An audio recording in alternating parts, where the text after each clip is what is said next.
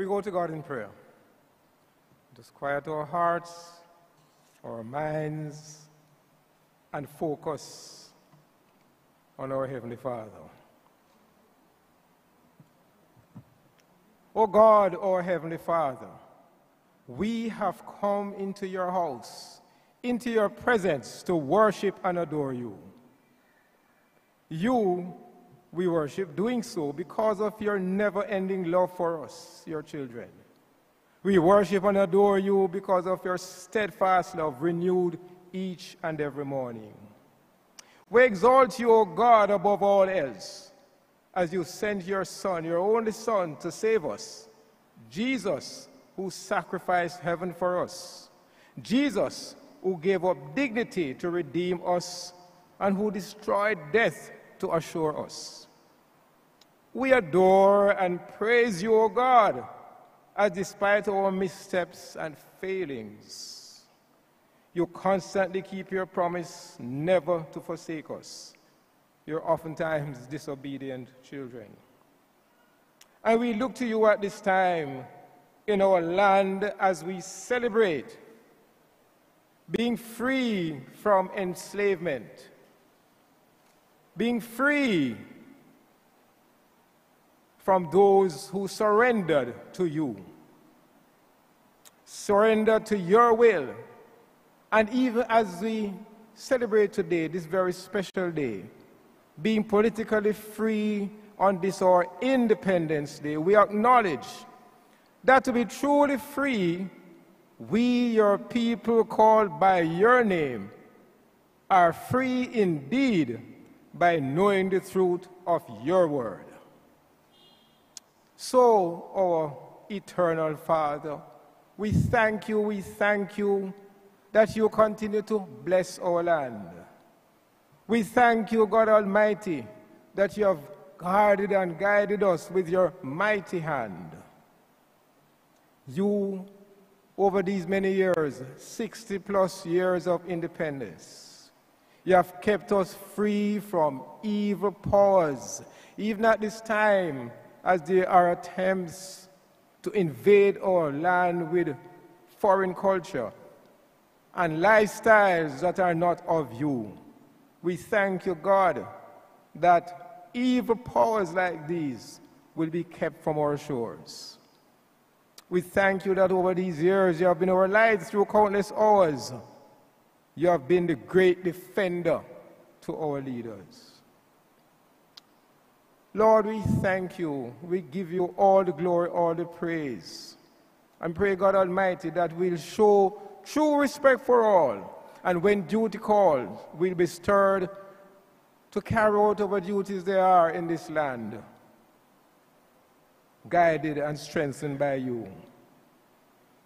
We pray, God Almighty, that indeed you will give us vision, that whatever vision we have will be guided and led by you.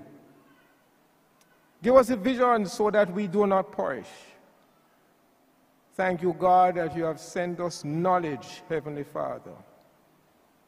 Grant true wisdom from above. And Father God, on this special day. We again thank you that you have continuously shown your love for this country. We have been through perilous times. We have survived not on our own doing, but because of your mercy and your grace. We have survived hurricanes, we have survived storms, we have survived earthquakes, we have survived pandemics, and all because of you. So, Father God, we thank you again in this Jamaica land that you love and Jamaica land we love. We offer you these prayers through your Son, our Savior, Jesus Christ. Amen.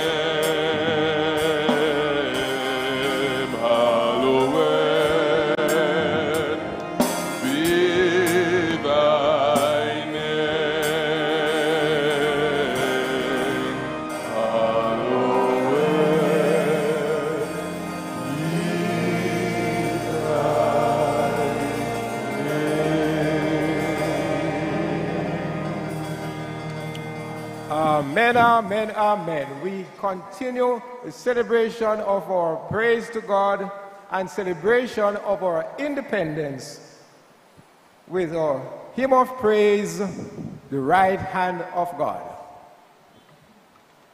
We invite the congregation to stand.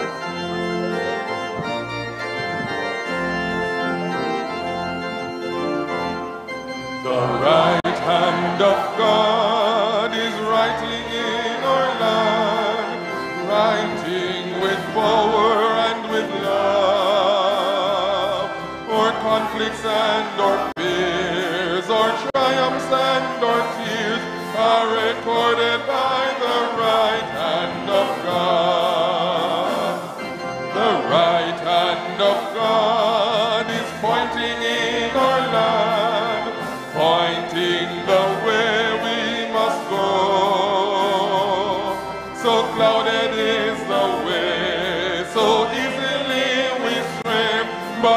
guided by the right hand of God. The right hand of God is striking in our land, striking out at envy, hate, and greed,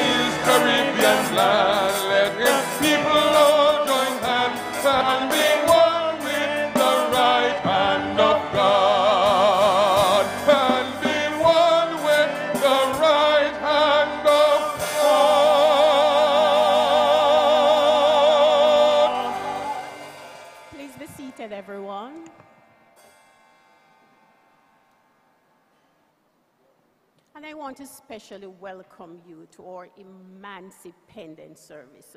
Today, we celebrate our history and humble beginnings and the journey we have taken through time to become a nation and people of great strength and even greater influence. We're 61.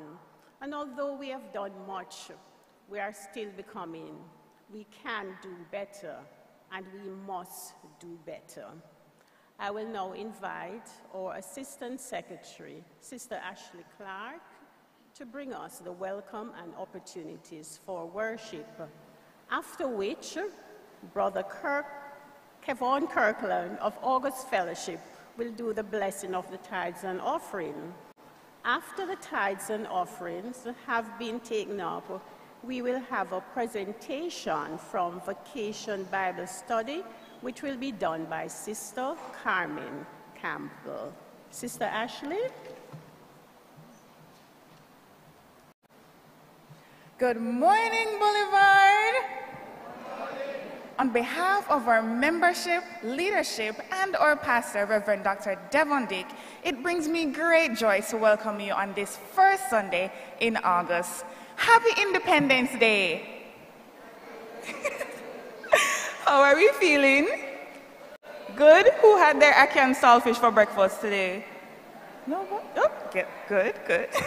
As we celebrate our 61st year, we give God thanks for making us a resilient, vibrant people. And we continue to pray for His blessing as we create a new tomorrow. Welcome to our members and regular visitors in the chapel today. And welcome to our congregation joining us via live stream on YouTube and on Care 93.5 FM. We're so glad to have you all celebrating with us. And we hope today's worship service will leave you feeling blessed and refreshed. Extra special welcome to our preacher for today, Reverend Dr. the Honorable Burchell Taylor.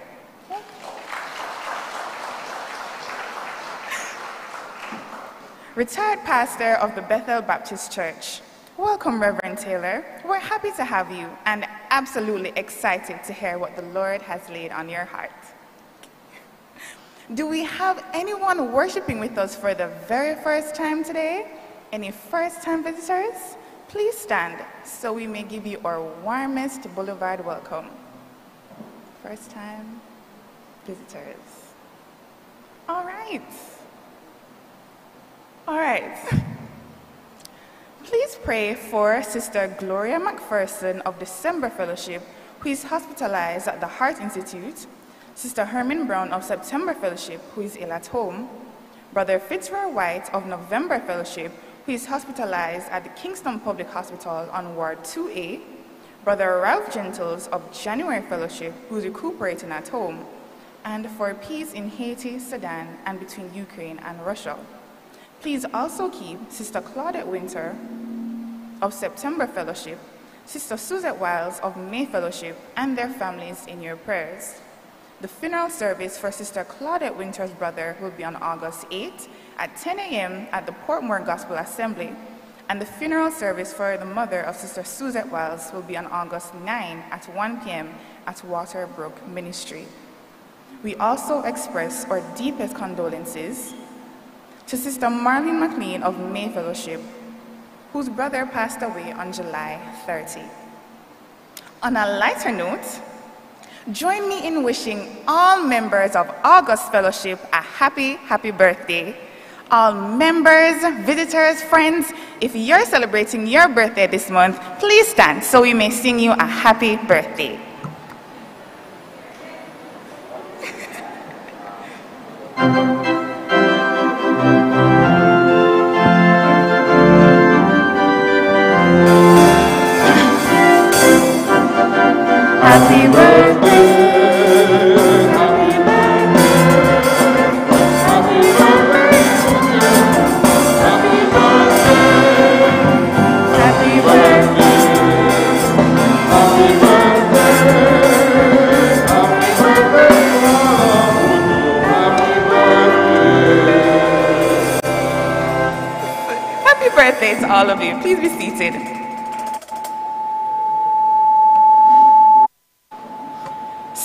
Celebrating today are Nova Barnett, Tennille Mullings, Lennox Gordon, and Winley Hemans. I hope you enjoy your extra special day. May God grant you your heart's desires and fulfill all your plans. Celebrating tomorrow on the 8th are Gloria Anderson and Mario Hyman. On the 9th, Raquelme Thompson, Alfonso Broderick, and Claudine James. On the 10th, we have Donna Simpson, and on the 11th, Lynn Williams, Anne-Marie Elwood, and Doreen Mowat. Happy birthday to each of you when your special day arrives. Remember to commit to the Lord whatever you do, and He will establish your plans. Please note, there will be no empowerment ministry this evening, but on Wednesday, Deacon Debbie Morel Parker will lead our Bible study on Zoom and on YouTube at 6.30 p.m. The topic will be the power of commitment. We hope you'll join us. It's finally here. Vacation Bible School starts this Tuesday from 9 a.m. to 2 p.m. We hope to see everyone from ages 4 to 18. There will be much to do and there will be lunch. So just come with an open heart, ready to participate. We're very excited to see you this Tuesday. Please see your bulletin for the balance of the notices. And at last, I leave you with a word from Galatians 5, verses 13 and 14. You, my brothers and sisters, were called to be free. But do not use your freedom to indulge the flesh. Rather, serve one another humbly in love. For the entire law is fulfilled in keeping this one command love your neighbor as yourself. Do have a very blessed week. Thank you, Sister Ashley. Please stand for the blessing of the tithes and offerings.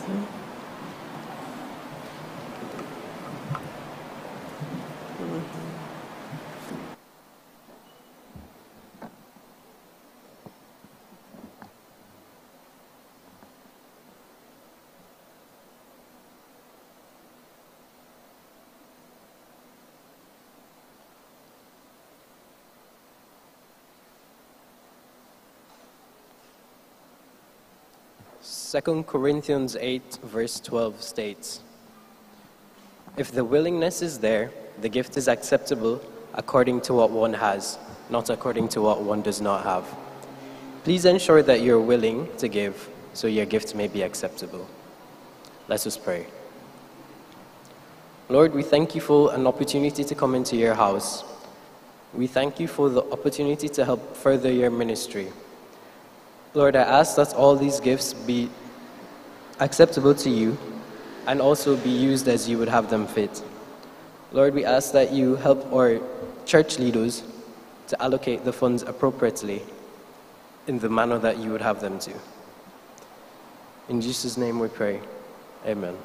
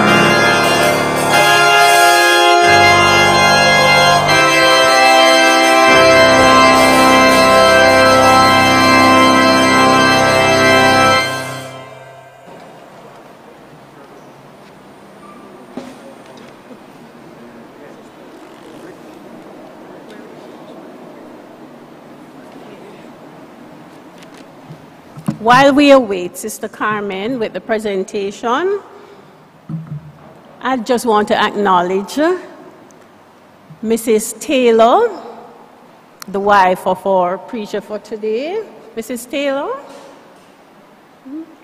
Oh, she's there waving. And I, I must tell you, she, I was telling the Reverend that she taught me at Merl Grove. I hope she doesn't remember.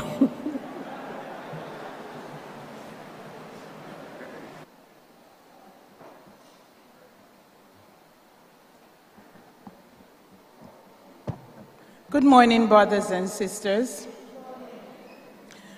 This morning, I am here to remind us all of our upcoming Vacation Bible Schools, which starts on Tuesday. Now, I'm very excited about this because it's the first VBS we are going to be having since the pandemic. We are, oh yes, it does deserve a clap.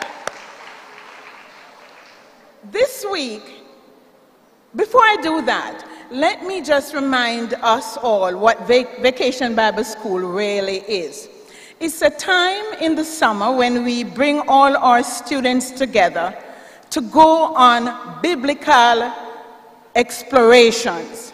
And this year it will be no less. We are going to be using the Lifeway 2019 production, which is entitled amazing adventures, amazing adventures with Jesus. This production will be enlivened with music, which is the words and uh, choreography and music. All were written by Jeremy Johnson and Paul Marino. And the, the lesson itself is a production of the Lifeway Ministry. Now, it encompasses different encounters that Jesus had while he was on earth. He traveled about, he met with people, and each one was like a snapshot, a snapshot of the meeting of people with Jesus. But when we put all these snapshots together, it leads us to the amazing truth that Jesus is the Son of God, and that when we believe on Him, we will have life. And so that's what we're going to be doing this week. So I invite you to send out your students. We, registration will start by 8 tomorrow morning. Not tomorrow, I'm sorry, on Tuesday morning.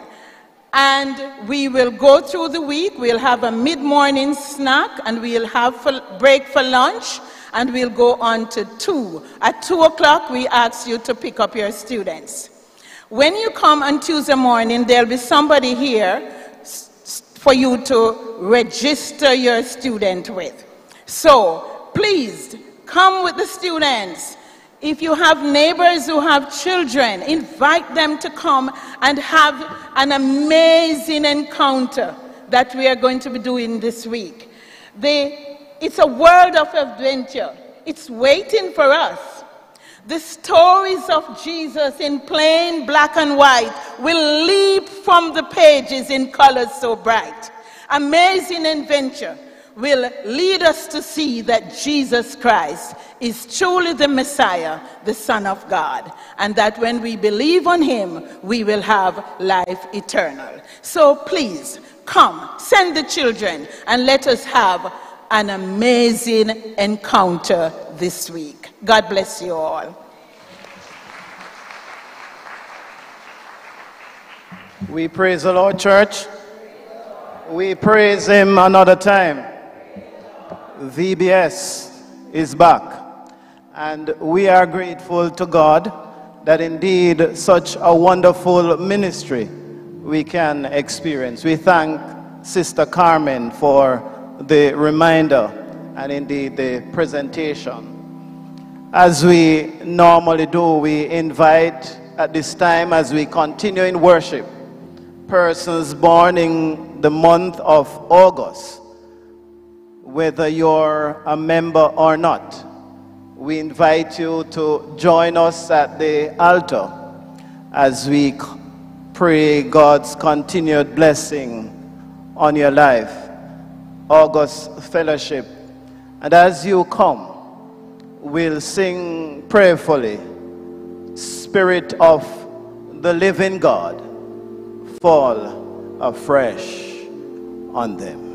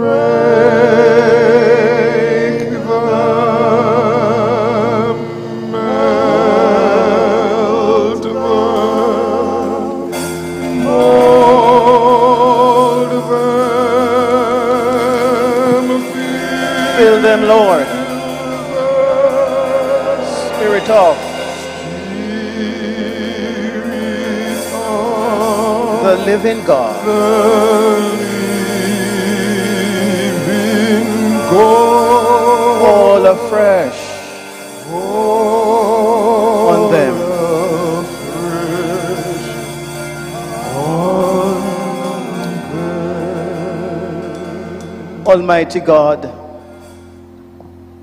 and Father of all families, we commit here, O God, your children born in the month of August into your hands, Lord. For these, your children, O Father, let there be new beginnings, new beginnings of joy, new beginning of success, of progress, and of a closer walk with you, God. New beginnings of testimonies. Give to them in Jesus' name. We thank you, God, for these August celebrants. Being strong in you, O Father, in the power of your might. You are Almighty God. And we thank you, God, for being their rock, for being their fortress in their good days, in their bad days, and on their special days, Lord. We thank you, God, for their deliverance.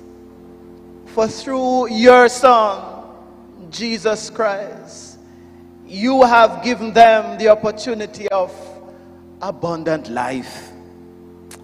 And so, God, we, we thank you for giving these men, women, children a mind to, to trust in you, God. For without you, O God, remind them that they are nothing. And so, Father, we, we stand in the gap for them. We lift them up, oh God, in a special way for those celebrants who are experiencing situation of healing issues, issues with their health. Oh God, you are the great healer. And we pray, oh God, for a special touch in this moment, in this space, God. Oh God, a disease possible of cancer. You know them, Lord. And we present them before you, O God, in a special way. Oh Lord, we thank you that even as they go through their distresses at time, that you have given them hope. Oh Lord, we thank you that we can always call upon you. We thank you, God, for your blessing on them individually and by extension, oh God, their families. And so, God, you are worthy. You are our deliverer, and we exalt you now, oh God. And thank you, God, for your goodness in their lives. For we pray these and other mercies. Through Jesus Christ, our Lord, we pray. Amen and amen. Spirit of the living God, fall afresh on them. Hallelujah.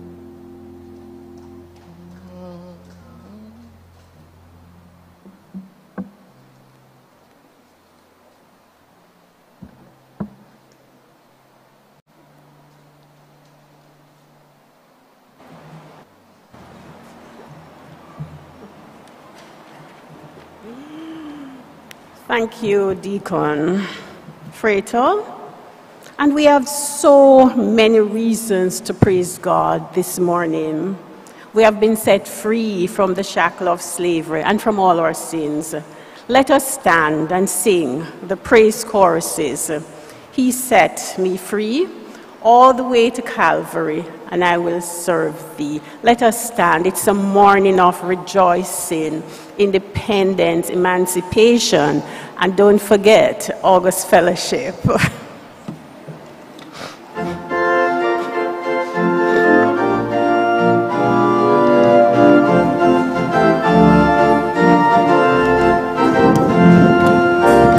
Set me free one day.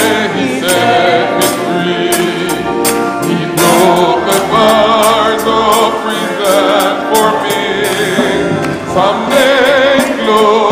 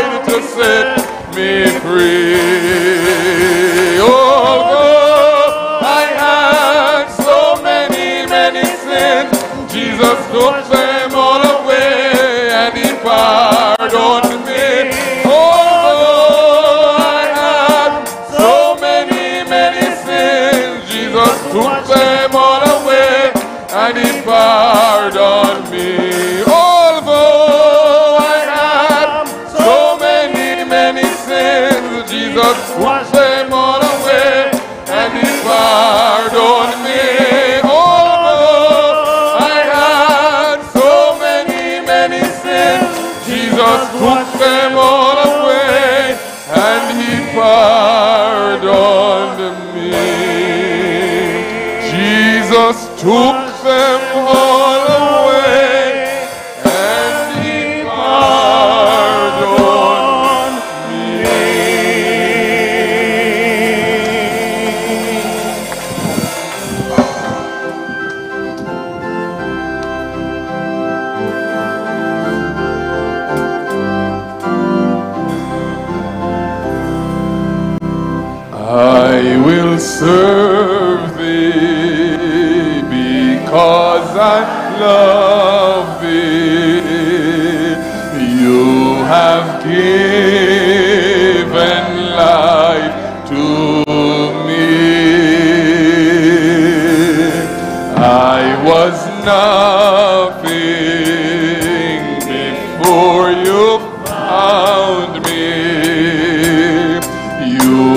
You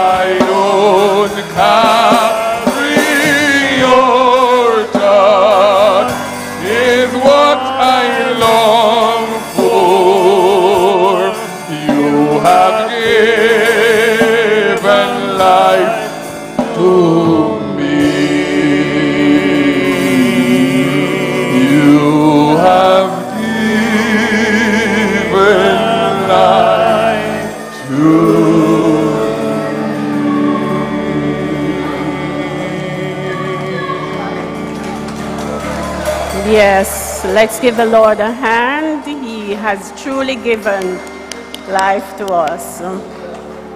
We will now have our scripture readings. The responsive reading, Psalms 27, will be led by Deacon Marcel Boyce.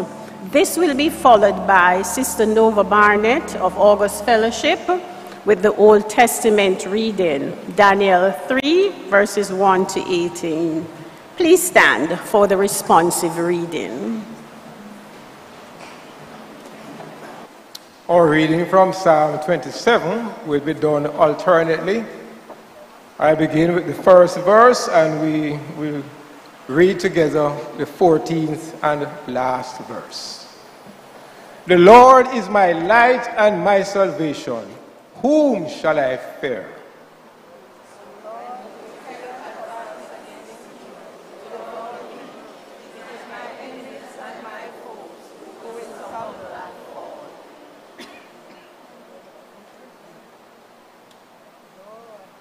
When evil men advance,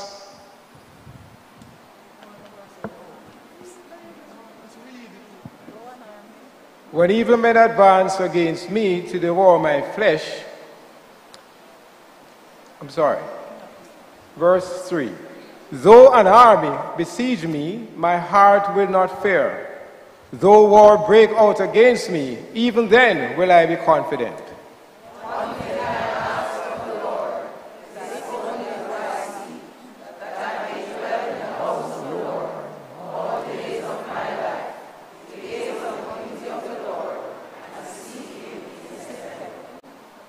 For in the day of trouble, he will keep me safe in his dwelling. He will hide me in the shelter of his tabernacle and set me high upon a rock.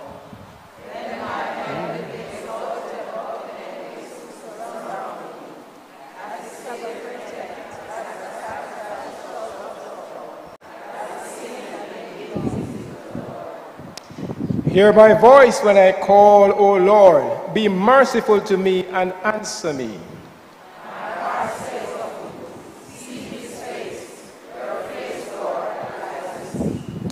Do not hide your face from me. Do not turn your servant away in anger. You have been my helper. Do not reject me or forsake me, O God, my Savior.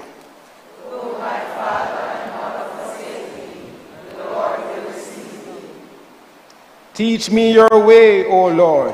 Lead me in a straight path because of my oppressors.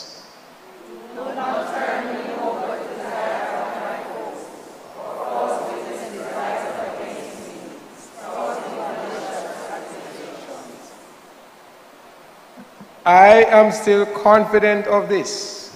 I will see the goodness of the Lord in the land of the living.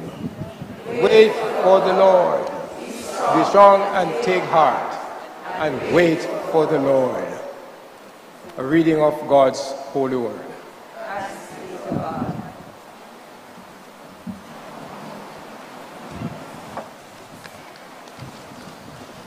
Daniel 3 1 to 18. King Nebuchadnezzar made an image of gold, 60 cubits high and 6 cubits wide, and set it on the plain of Dura in the province of Babylon. He then summoned the satraps, prefects, governors, advisors, treasurers, judges, magistrates, and all the other provincial officials to come to the dedication of the image he had set up. So the satraps, prefects, governors, advisors, treasurers, judges, magistrates, and all the other provincial officials assembled for the dedication of the image that King Nebuchadnezzar had set up, and they stood before it. Then the herald loudly proclaimed, Nations and peoples of every language, this is what you are commanded to do.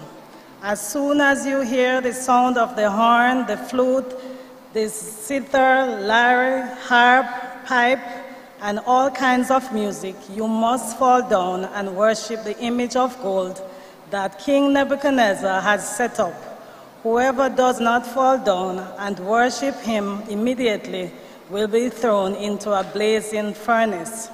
Therefore, as soon as they heard the sound of the horn, flute, zither, lyre, harp, and all kinds of music, all the nations and peoples of every language fell down and worshiped the image of gold that King Nebuchadnezzar had set up. At this time, some astrologers came forward and denounced the Jews. They said to King Nebuchadnezzar, May the king live forever.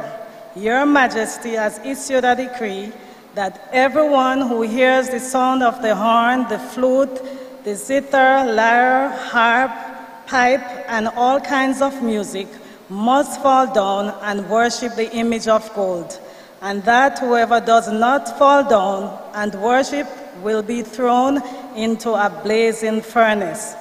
But there are some Jews whom you have set over the affairs of the province of Babylon, Shadrach, Meshach, and Abednego, who pay no attention to you, your majesty, They neither serve your gods nor worship the image of gold you have set up. Furious with rage, Nebuchadnezzar summoned Shadrach, Meshach, and Abednego. So these men were brought before the king. And Nebuchadnezzar said to them, Is it true, Shadrach, Meshach, and Abednego, that you do not serve my gods and worship the image of gold I have set up? No. When you hear the sound of the horn, flute, zither, lyre, harp, pipe, and all kinds of music, if you are ready to fall down and worship the image I made, very good. But if you do not worship it, you will be thrown immediately into a blazing furnace. Then what God will be able to rescue you from my hand? Shadrach, Meshach, and Abednego replied to him, King Nebuchadnezzar, we do not need to defend ourselves before you in this matter. If we are thrown into the blazing furnace, the God we serve is able to deliver us from it, and he will deliver us from your majesty's hand. But even if he does not, we want you to know, your majesty, that we will not serve your gods or worship the image of gold you have set up. This is the word of the Lord.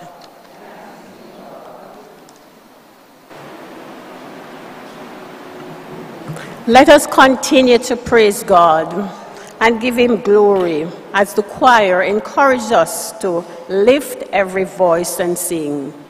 After which, we will hear from the Honorable Reverend Dr. Burchell Taylor, a devoted servant of God, a pillar of the Christian community and the Baptist Church in Jamaica.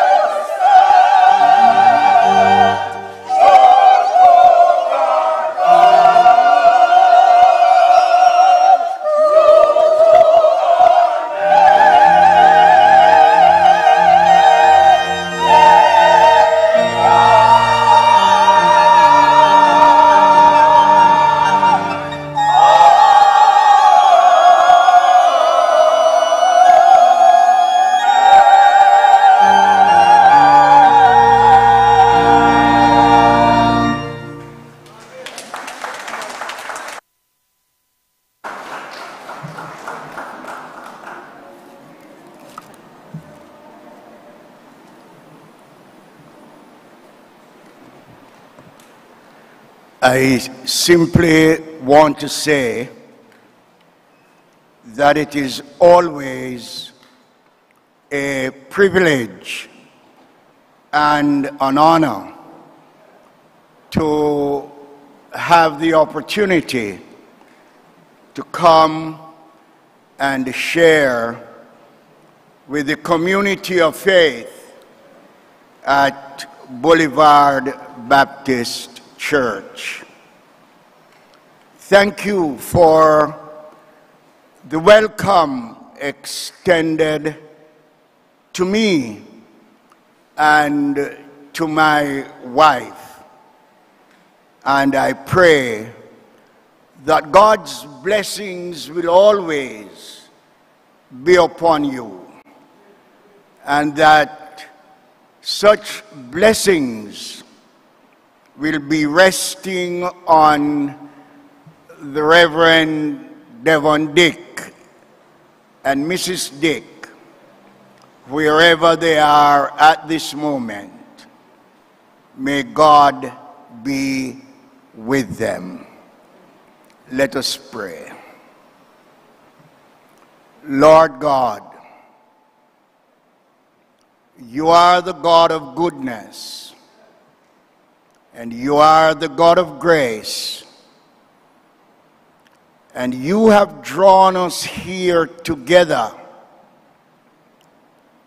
as well as you have set apart those who are elsewhere, but at the same time are also here. Lord God, we depend upon you that you will speak to us. And we ask of you that in the power of your Spirit, you will enable us to make the appropriate response to the proclamation of your word. Hear our prayer, O God, for we pray in Jesus' name. Amen. I invite you to turn in your Bibles or to consult your gadget that has the scriptures. And we are going to look at a portion of the scriptures that were read to us from the book of Daniel. Daniel chapter 3 and verses 16 to 18. And I'm reading from the New International Version. Shadrach, Meshach, and Abednego replied to him, King Nebuchadnezzar, we do not need to defend ourselves before you in this matter. If we are thrown into the burning furnace, the God we serve is able to deliver us from it. And he will deliver us from your majesty's hand. But even if he does not, even if he but even if he does not,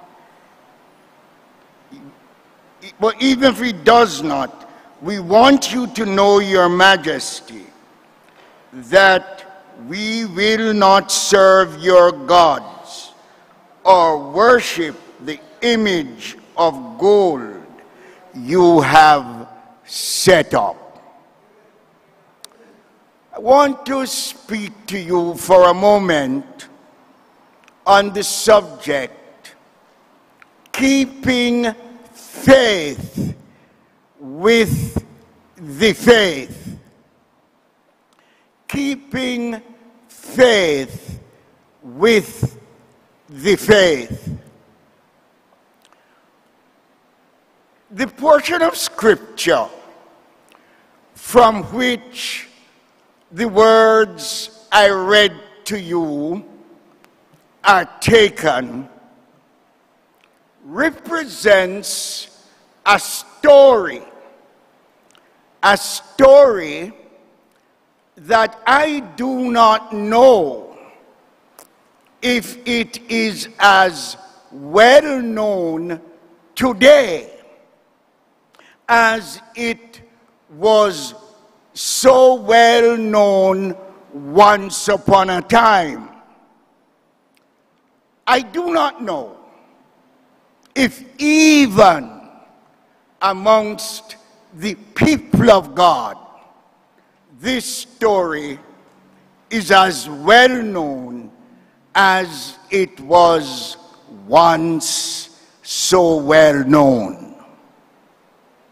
But one of the things I do know is that whether it is as well known today as it once was, it is abundantly clear that this story retains its profound importance and its profound significance for us as a people of faith, a people of God, as it ever had its significance and importance remain.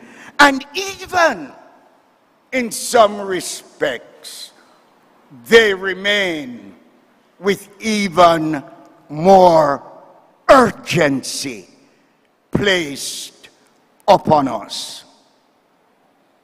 Why do I say this?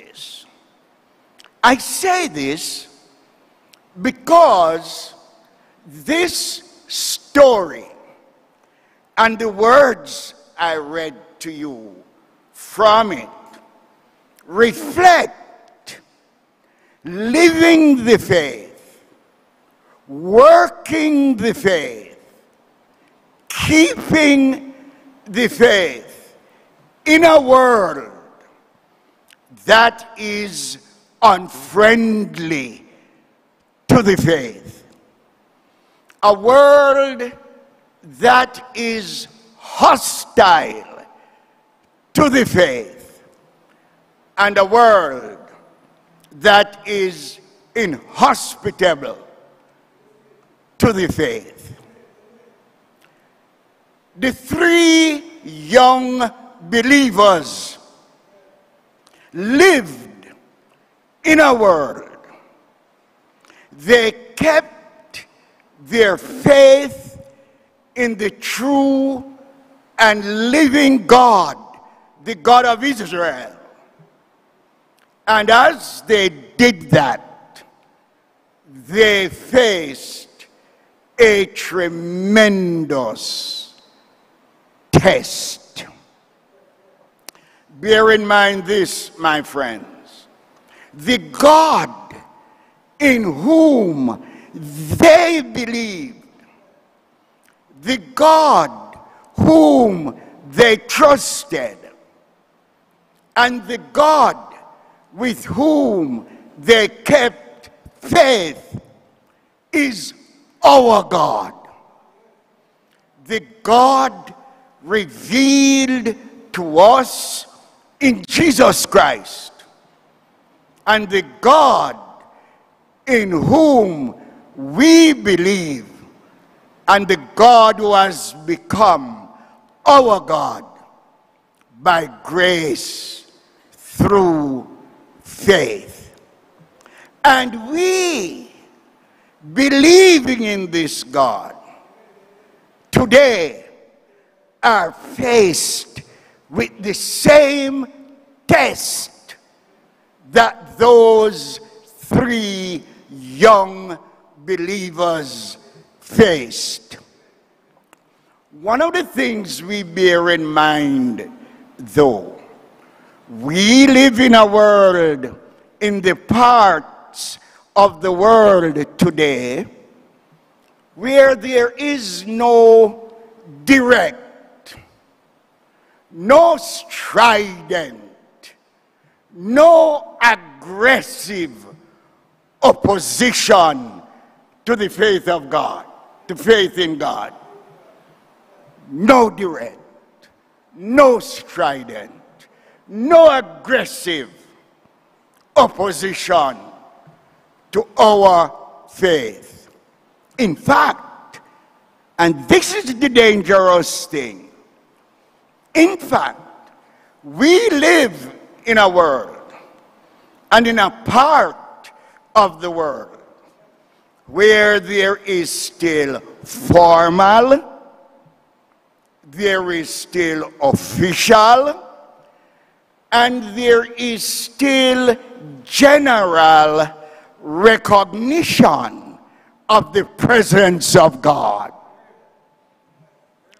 But one of the things is that the danger lies in this. The fact is, while there is still respect formally and officially and generally for the faith, diminishing, of course, we are not without challenges as we are committed to the faith. Guess what? We live in a world, we now live in a world that orders its life even though it recognizes a God.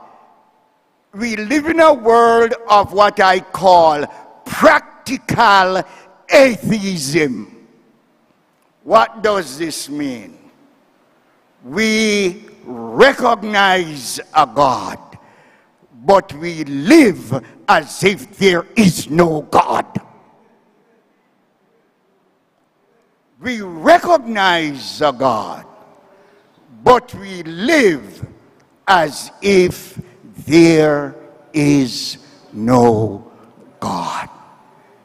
Life is ordered and ordered on a basis that sidelines spiritual and moral values that ought to guide life.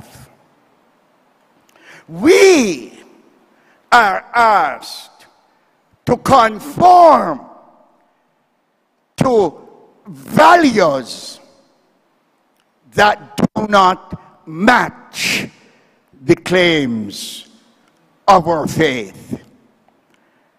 And my friends, you notice this that whenever there is any kind of protest coming from people of faith, we are simply told to shut up.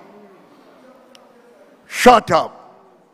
Religion belongs to private life, and religion must not be mixed up with public life.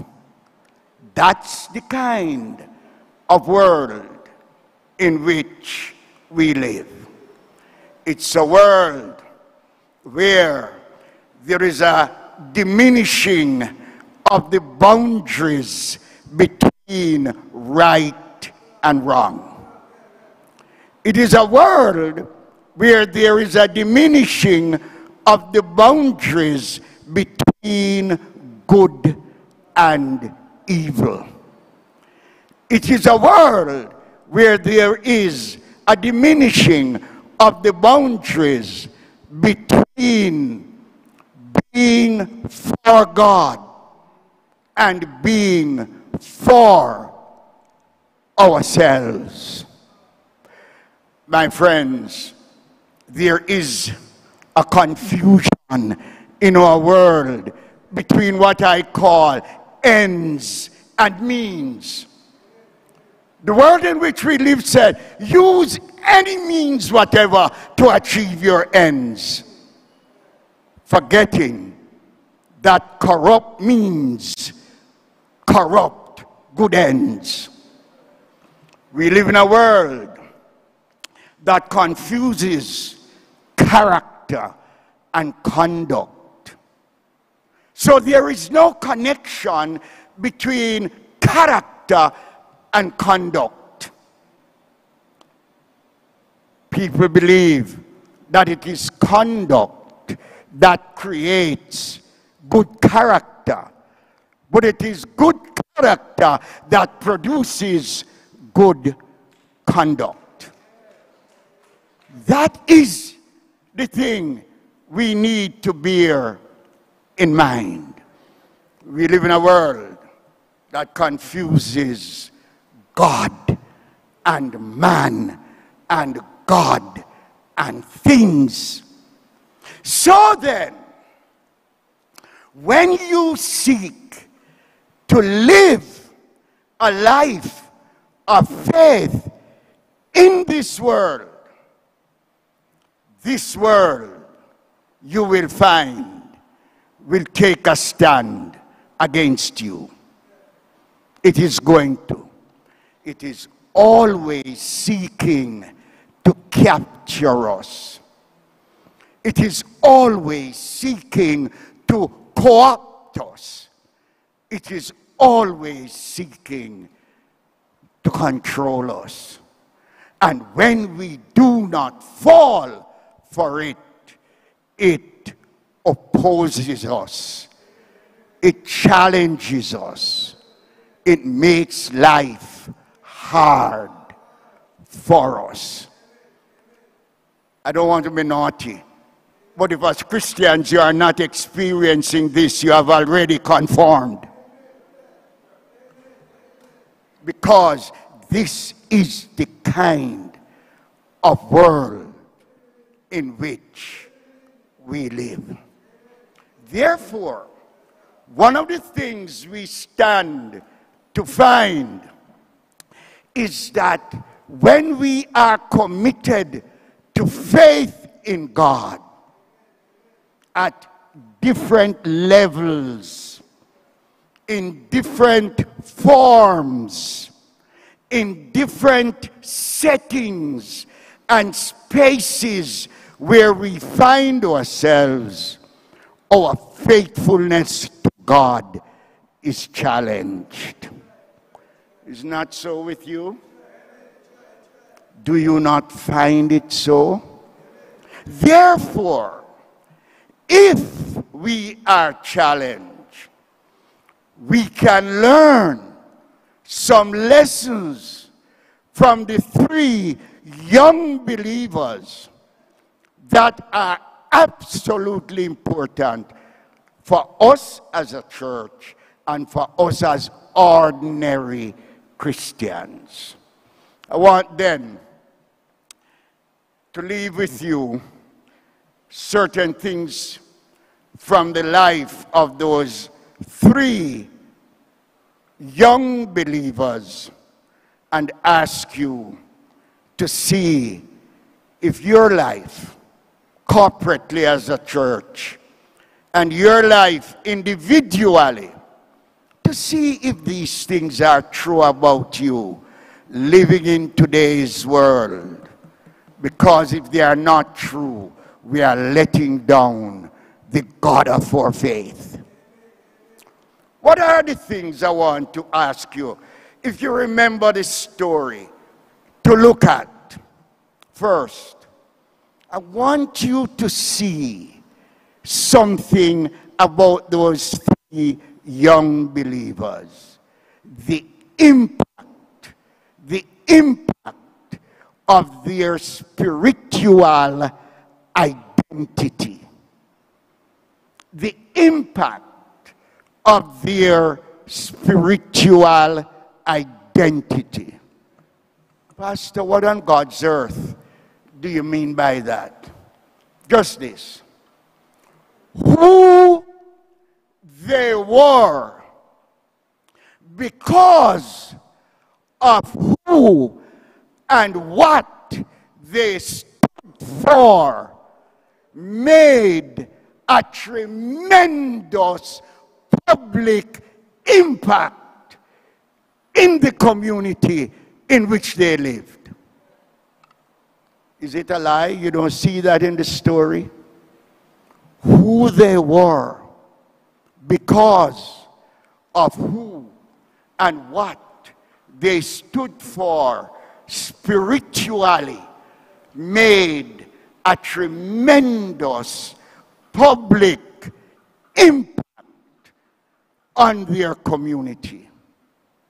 Those with whom they related, those with whom they were associated, those with whom they worked, those who watched them from afar, those with whom they encountered, their spiritual identity made a tremendous impact on them.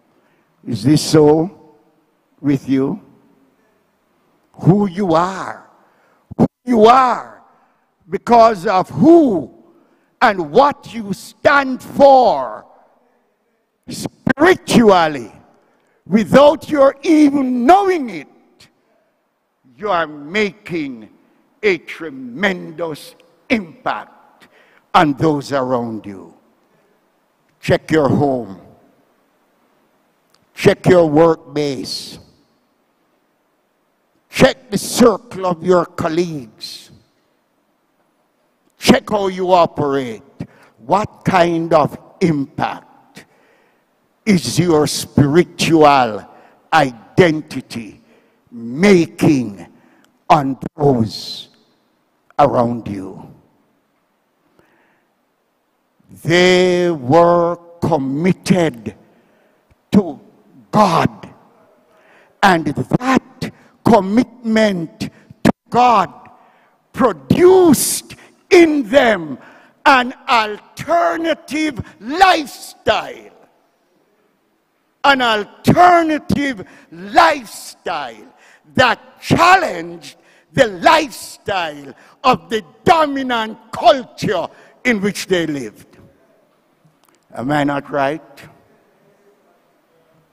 The virtues they manifested, the values they upheld, the standards by which they lived, the principles which they applied in life were countercultural. They ran counter to the virtues, the values, the standards, and the principles that were characteristic of their social order. Those men. And yet, and yet, by the courage of their conviction, they sought to live the difference in the midst, seeking to make a difference for good for all. That is of critical importance. So, what do we see when you read this story? You will notice that these three young believers, they lived such a life, making such an impact, that there were many who made themselves their enemies. Isn't that right? Don't you see it? Mistrust, suspicion, dislike.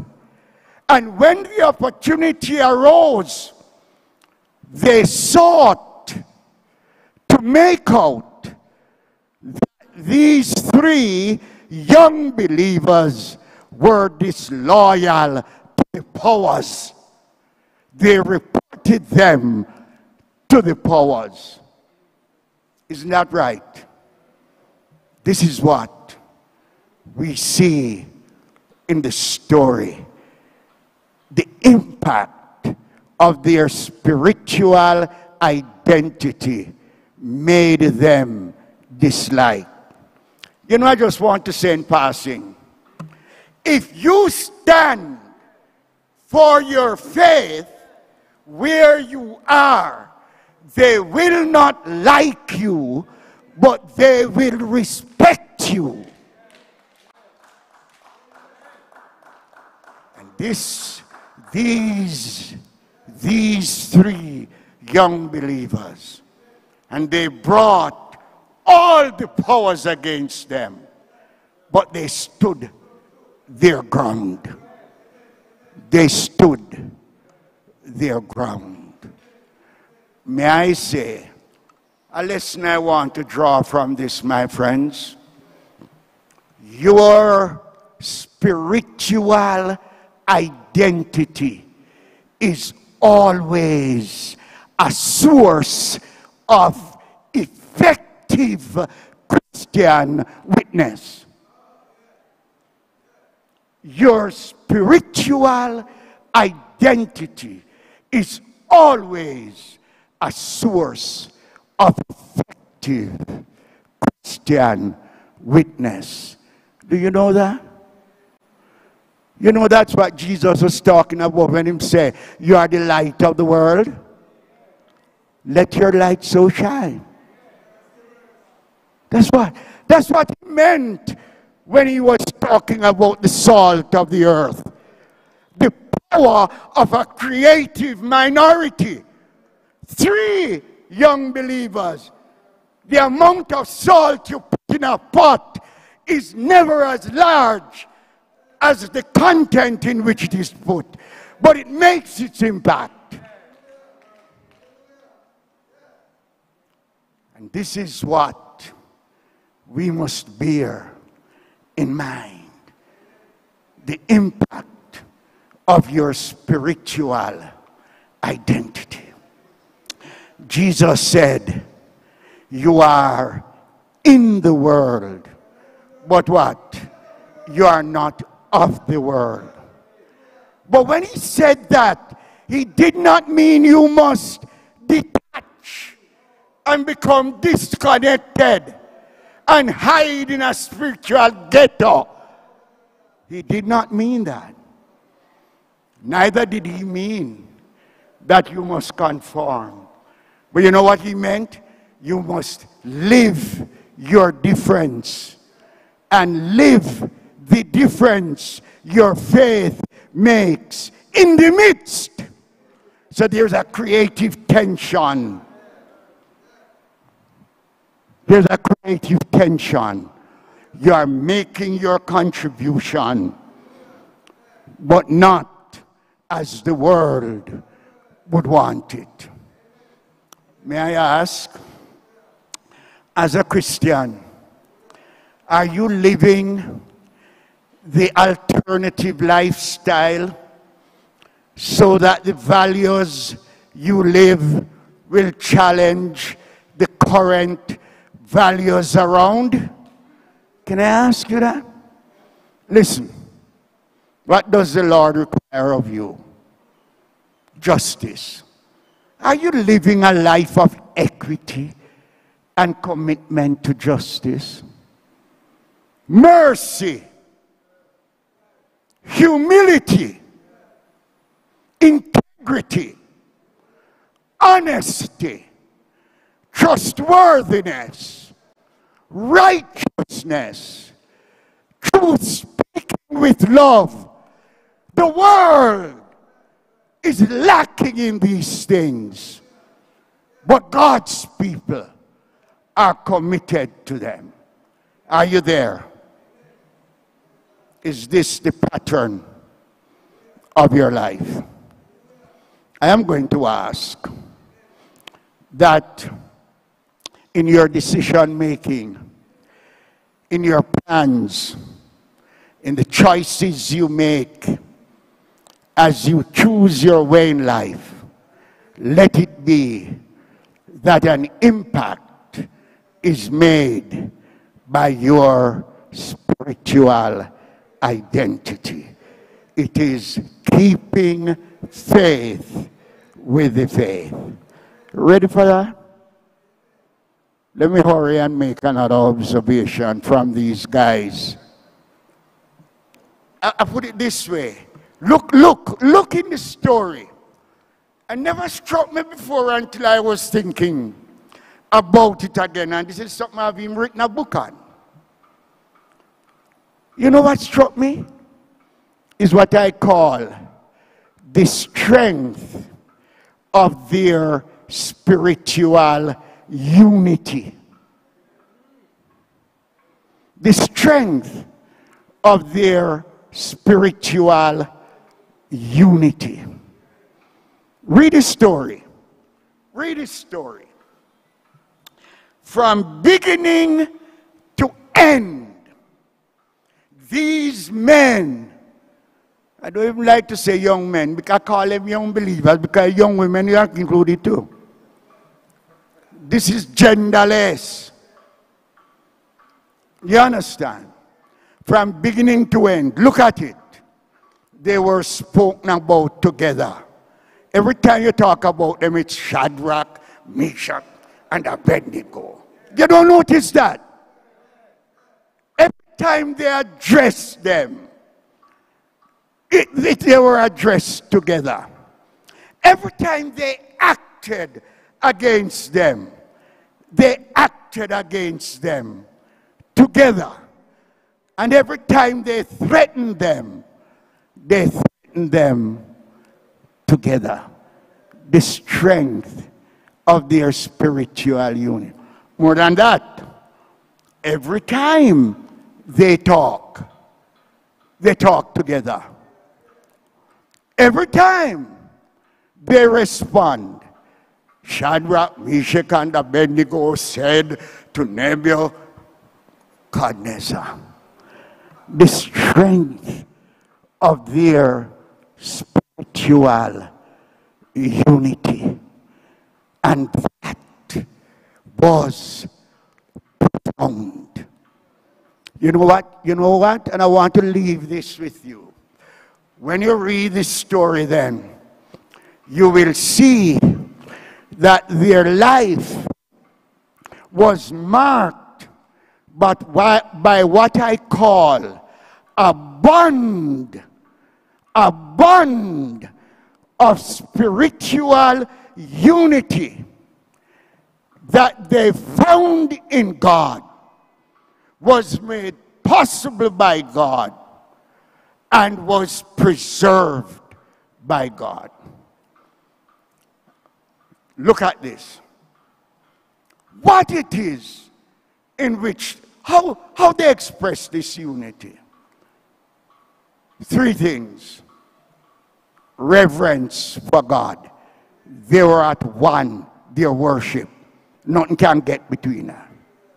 And in our passage, not only reverence for God, but dependence on God. And thirdly, obedience to God. Unity in reverence, dependence, and obedience. Do we find that in the church? Are you contributing to that? After you come here today, you know, I always admire Boulevard Choir and Mr. Mack. After you come and sing so wonderfully, are you in unity in this church? Who is making mischief? Who is sowing discord? Who is sowing discord? Who is creating division. And where there is unity in reverence, dependence, and obedience, what emerges out of? What emerges out of this? Oneness, belongingness, and faithfulness. That's what you see. That's what you see where there is strength of unity, oneness, belongingness, and faithfulness. Do you sense that? We are all Christians. We are here this morning. Are you a contributor to oneness? Do you sense a sense of belongingness? Are you pursuing the faithfulness that we see in the life of these three young believers? Challenging you. We are celebrating Jamaica's independence. God put the church in this country at this moment to make a difference. And we are only going to make it where we find strength in spiritual unity. May I say, the powers of the world. Fail, fail, and they show ultimate weakness when they are not able to divide us. Don't you see? Nebuchadnezzar, big and bad,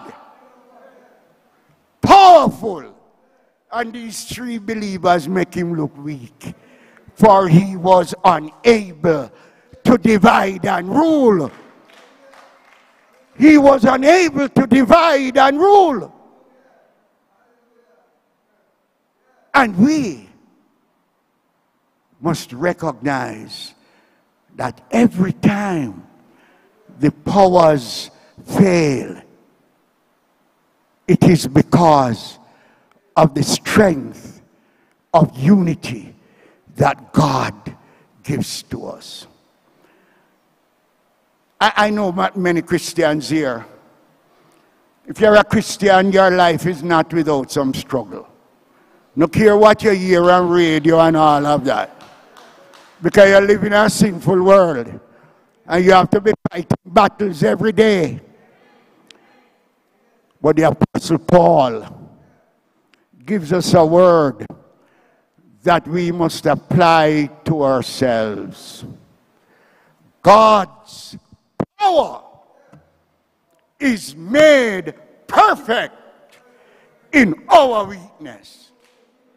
And that is recognized in the strength of unity. So, what we need to bear in mind is that the first thing the powers want to do is to divide us, is to create division. And so, as I pass by, I'm going to ask Is there factionalism in Boulevard? Is there cliquism in Boulevard? Is there partisanship in Boulevard? Thank God there is none. What party you belong to in this church? Too often, we seek to divide on gender women's liberation, men's brotherhood, and each have independent agenda and jealousy, not in Boulevard. Too often, the division is generational. The youth and the adults. Church is made up today of three sexes male, female, and youth. And every time you go to church meeting, is what the youth want, or is what we're not giving to the youth. There is a strength in unity. We must not let, if we divide, it must be to serve the greater good. I beg of you. So, why we have so many denominations? And in our denominations, why we have church against church? Only the devil can win. Watch these guys. The strength of their spiritual unity. I end. I end. Go back and read this story. The impact of their spiritual identity, who they were, because of who and what they stood for spiritually, made a fundamental public impact for good. The strength of their spiritual unity exposed the weakness of the powers that boasted about their capacity to do as they like. I end with this, and I ask you to look at it. When you look at this story, you know what you see? You know what you see? And I'm begging you as a church living in today's world. In the end, three young believers, you know what you see? The maturity of their spirituality. The maturity of their spirituality. These are three, three, three young people. But maturity has nothing to do with age when it comes on to the spirit. The maturity of their spirituality. How does this come out, Pastor? Read the story. At no point in this story did these three young believers say, Look, one, let us be realistic. Did you hear that? Let us be realistic. At no point in this story did you hear them say, Man, we have got to be practical. At no time in this story say, Boy, common sense have now to take over. Anytime you hear that in spiritual matters, look out for compromise. Look out for compromise. Let's be realistic, man. We are only human. We are only human. At no place in this story, they were mature beyond that.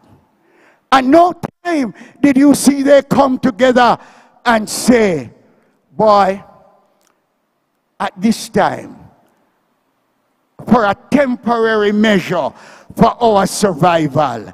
Let us give in. We know that Nebuchadnezzar is not God. So let us call him God, but we know in our heart that he's not God. Did you hear that?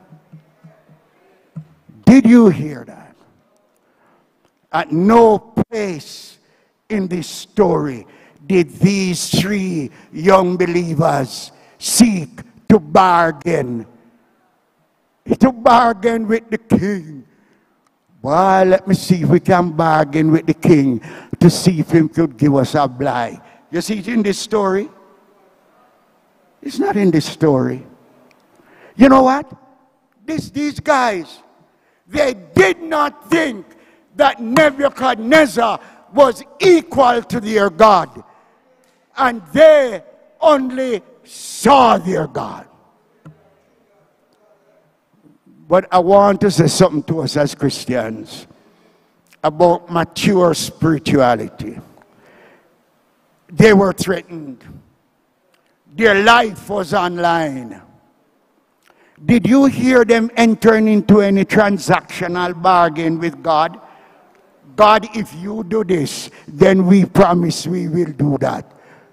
Anybody in here who is in this transactional business with God? Anybody? Look, God, prove yourself. If you do this, uh, uh, we will do this. No transactional. No transactional. So, what do we see as the display of mature spirituality? What do we see? I name it quickly. Unconditional, unreserved, unrestrained, absolute devotion and dedication to God, come what may.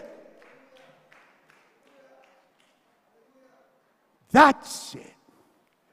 Unconditional, unreserved, unrestrained devotion and dedication to God, come what may. We are entirely in your hands, O God. For anything, and this is what ordinary everyday Christian must bear in mind. Everything we do for God, God deserve it. God deserve it. We owe it to God because of who God is. And that is the story that I want. So then, mature spirituality puts us at a place where the world will not have its way with us. Can I leave that with you? And this is it my friends. I'm an old retired pastor. I know that I am reflecting and I'm seeing also and looking back at ministry. I want to say to my sisters and brothers at Boulevard and in the cyber world, whatever it is, God has made provision that we can develop mature spirituality. And we, if we neglect them, we will become immature and unstable and will be conquered by the world. May I ask you? God has given us worship. Do we worship God in spirit and in truth? Is our entire life a spiritual offering to God in worship? God has given us His Word. I have never asked Reverend Dick, and I don't have a knowledge. But because I love Boulevard people so much, I believe that Bible study is like this on a Wednesday evening. Do we love Bible study? Because that is what is going to build this maturity. You can't neglect it and become mature. Fellowship. What is fellowship? Fellowship is being a share, having a share, and giving a share. Are you there? Service. We grow. In Jamaica today, we deprive our country of the blessings it can receive when we do not offer them the impact our spiritual identity, the strength of our spiritual unity, and the maturity of our spirituality. Come, come. There is much to be done. Keeping faith with the faith. Amen.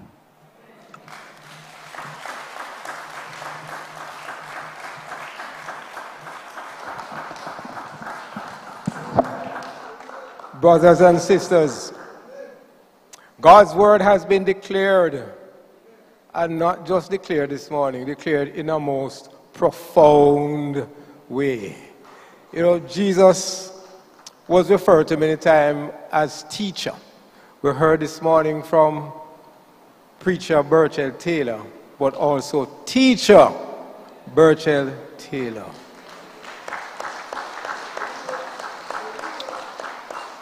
I, I learned a lot from teacher Burchell Taylor this morning. And I really hope that God's word that has been declared has fallen on fertile ground.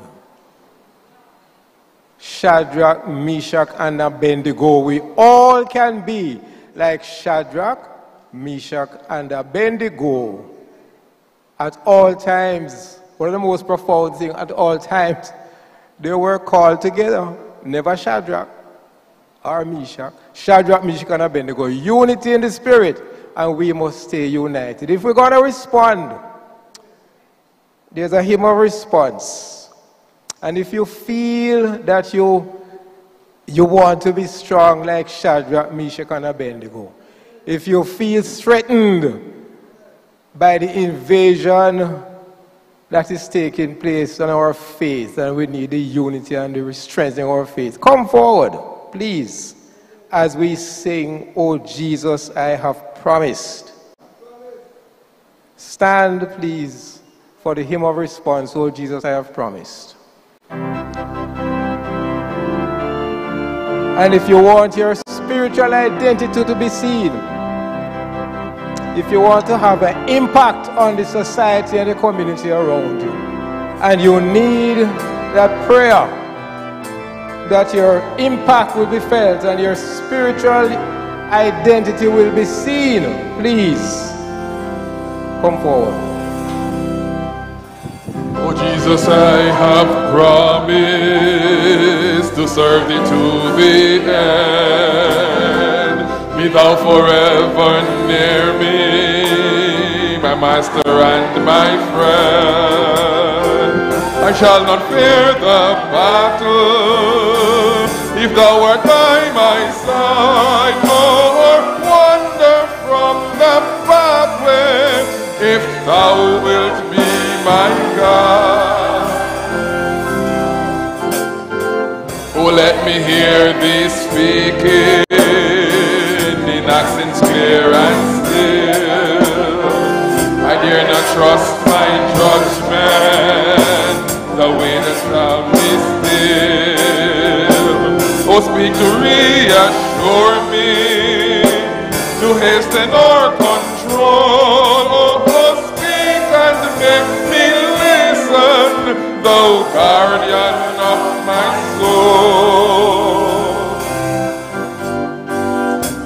Jesus, thou hast promised to all who follow thee that where thou art in glory, there shall thy servant be.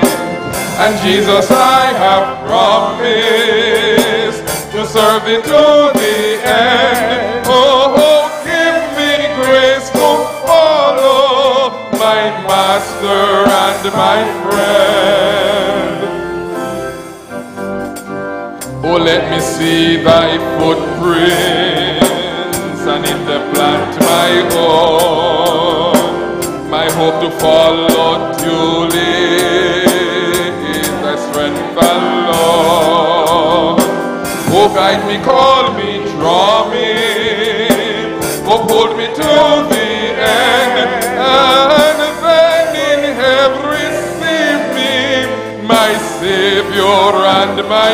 and then in heaven receive me, my Savior and my You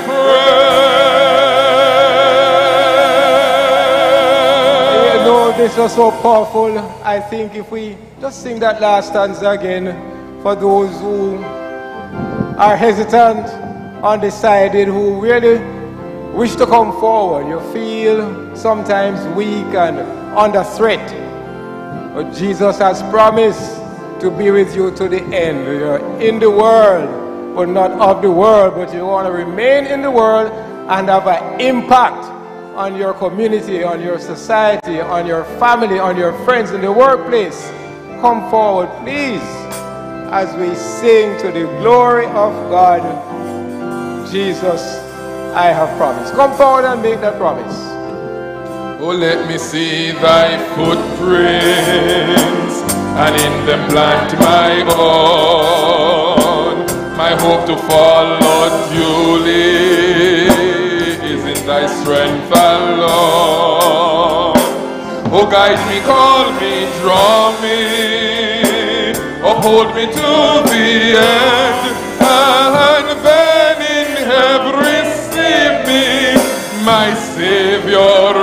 my friend, and then in heaven my Savior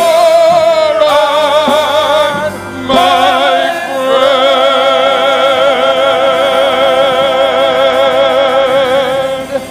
And what a friend we have in Jesus. The best friend we could ever have. The best friend anyone could ever have. He was a friend to Shadrach, Meshach, and Abednego years and centuries ago, and he is the best friend to us today in independent Jamaica. Let us pray. Lord God, we come to you this morning having heard your word, having heard God Almighty that you keep your promises. And having heard, Father God, that there's strength in unity, that we need to have an impact in our community.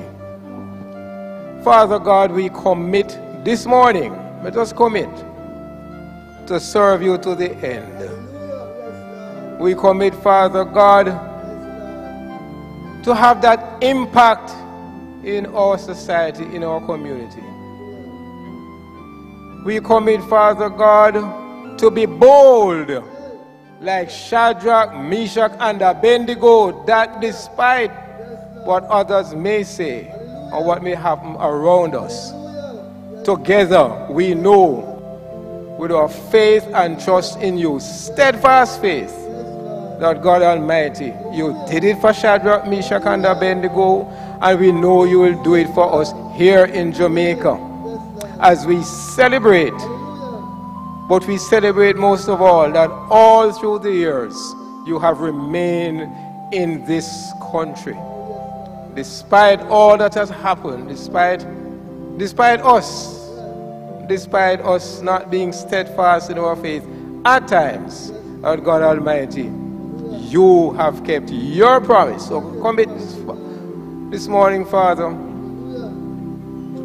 Now we made the promise, and we will keep the promise to you to be steadfast in our faith, to remain in unity, to have that impact in our community, and to always remember you, Father God. Lord, I pray for all who are at the altar this morning, and even those that are not here in your congregation and in the far field, in the platform that you have provided.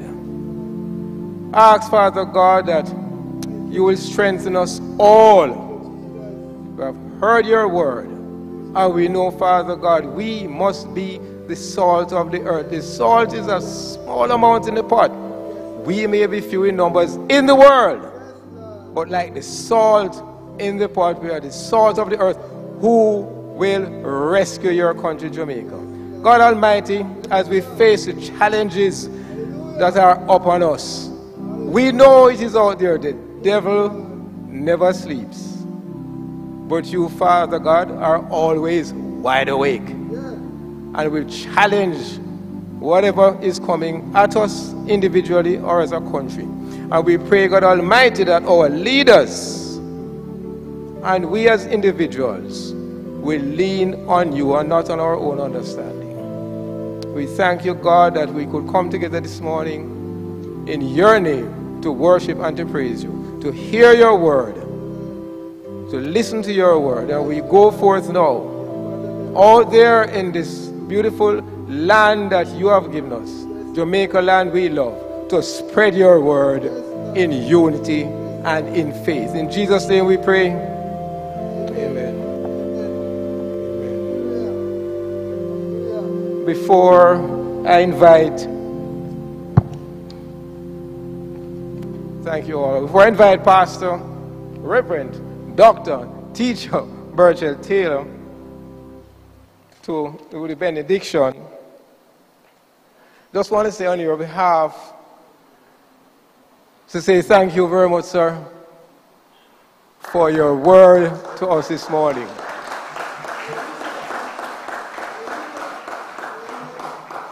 You know, this, this is a special day. It's, it's Jamaica's birthday.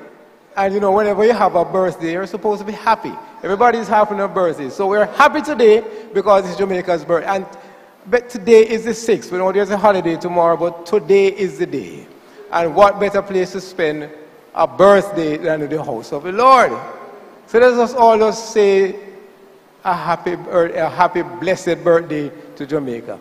Happy, blessed birthday, Jamaica. Today is the 6th of August, and we're happy to be in the house of the Lord. So, benediction. The grace of our Lord Jesus Christ, the love of God, and the fellowship of the Holy Spirit be with us all, now and forever. Amen. sharing